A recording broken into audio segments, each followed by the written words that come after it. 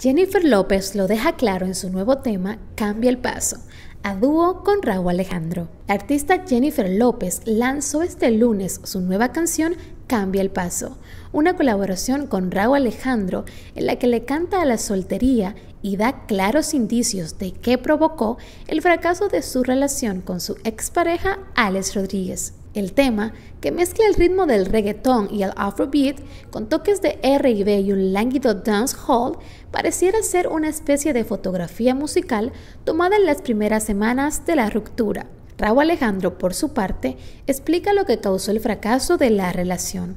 Él salió de las normas que ella le puso, canta el artista puertorriqueño que este lunes sumaba casi 42 millones de seguidores en Spotify y se mantenía como el cuarto cantante más escuchado con su éxito Todo de ti. Cambia el paso, pareciera llegar tarde a la vida personal de López, quien el fin de semana fue captada por fotógrafos en un paseo por los parques temáticos de California con su actual pareja, el actor y cineasta Ben Affleck, y los hijos de ambos. Sin embargo, su base rítmica tribal lo coloca a la perfección en la tendencia de la música del verano, que consiste en la fusión de los sonidos del Caribe con los africanos. La colaboración con López representa un nuevo hito en la carrera de Alejandro, quien hace dos semanas lanzó su disco Viceversa y ya tiene en su historia colaboraciones con Selena Gómez en el tema Baila conmigo y Vacío con Luis Fonsi. Además de Cambia el Paso,